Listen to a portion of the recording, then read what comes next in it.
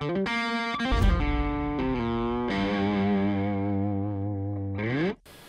I'm Tiffany Bryson with GROB Systems, and I'm here at Area 419 where we just dropped this baby, our GROB G350 five-axis horizontal machining center. We are super excited to have it here. We've got our GROB techs that are getting everything together so we can start making some chips. And I'm gonna take a moment and walk you around this machine so you can know what makes GROB different than other machine tools. So first and foremost, it is uh, the way that our machine is configured. So as I mentioned, we are a horizontal machining center, and we've got our Z here, we've got our A, our B, and then we have our Y right here. So what's uh, different and what's unique to GROB is our tunnel concept of the spindle, right?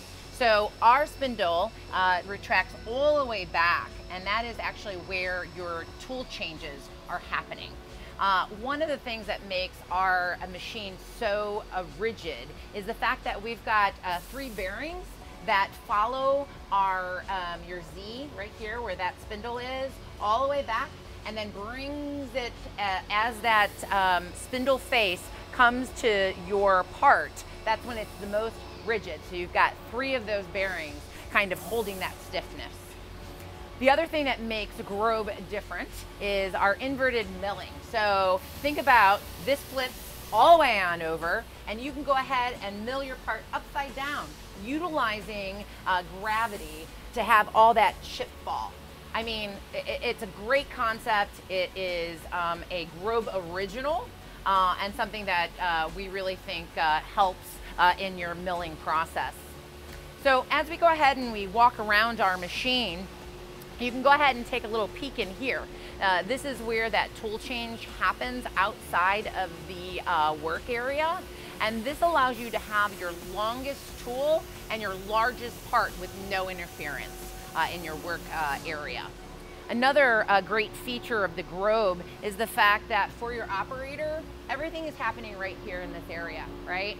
So you've got your uh, workpiece, um, you've got right here is where your control will be, and then you can go ahead and um, right in here, you can put uh, your uh, tools uh, load and unload right here. So everything's very compact and ready to go.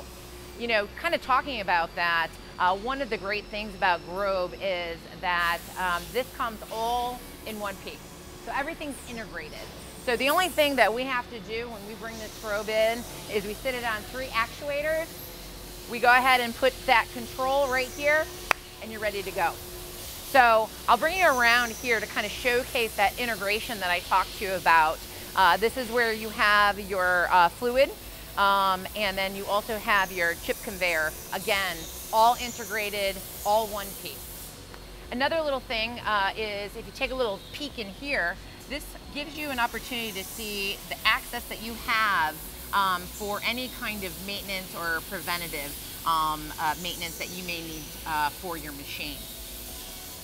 As we walk around, this is one of my favorites, is uh, right here. This kind of showcases the German engineering, right? Besides the kinematics of our machine, um, right here kind of shows the fact that um, everything's very organized, it's labeled perfectly, and it's uh, going to be great for um, your maintenance um, uh, for anything in the future.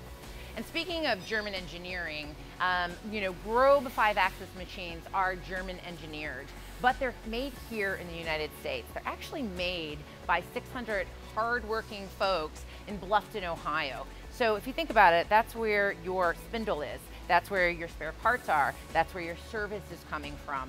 Everything that you will need for this machine is right here. And along with that, um, I ask you to stay tuned because once we get this up and running and we start making chips, you'll be able to see some more US made parts from Area 419 right here on the GROB. So we'll see you soon.